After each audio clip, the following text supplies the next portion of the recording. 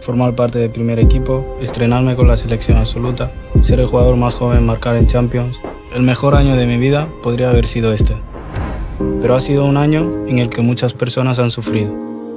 Por eso, mi deseo para el próximo año es que se llenen los vestuarios, que se llenen las pistas, los polideportivos, los estadios, los restaurantes, los teatros, nuestras casas, que volvamos con el impulso que el mundo necesita.